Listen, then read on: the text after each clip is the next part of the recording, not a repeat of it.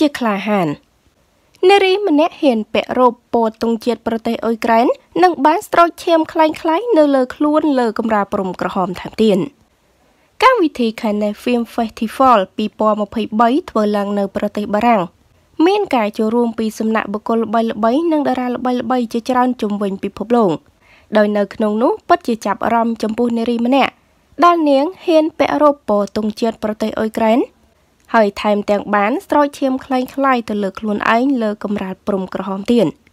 ដើម្បីតវ៉ាការឈ្លានពានរបស់រុស្ស៊ីលើអ៊ុយក្រែនហើយនាងក៏ប្រឈមនឹងការលែងបានមកជន់កម្មវិធីដ៏ធំនេះដែរបន្ទាប់ពីនាងធ្វើបែបនេះត្រូវបានសារព័ត៌មានល្បីៗជាច្រើនជំវិញពិភពលោកធ្វើការចុះផ្សាយ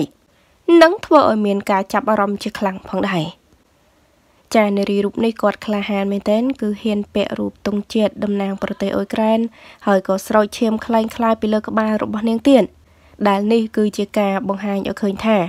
នាងកំពុងតវ៉ាការឈ្លានពានរបស់ប្រទេសរុស្ស៊ីមកកាន់ប្រទេសអ៊ុយក្រែនរបស់ខ្លួនឃើញហើយមិនសរសើរមិនបានហើយព័ត៌មាននេះកំពុងតែល្បីសរសៃជុំវិញពិភពលោកផងដែរប៉ុន្តែទោះជាយ៉ាងណាកម្មវិធីកម្រាលព្រំក្រហមនេះគឺមិនតម្រូវឲ្យ បង្ហាញអំពីវប្បធម៌ឬមួយក៏អ្វីជាតំណាងប្រទេសនោះឡើយដូច្នេះនាងអាចនឹងលែងបានជន់កម្មវិធីដ៏ធំមួយនេះផងដែរអរគុណច្រើនប្រិយមិត្តទាំងអស់គ្នាតេតតុកនពរមាននេះដែរក៏សូមបញ្ចប់តែត្រឹមនេះសូមអរគុណសូមគោរពលា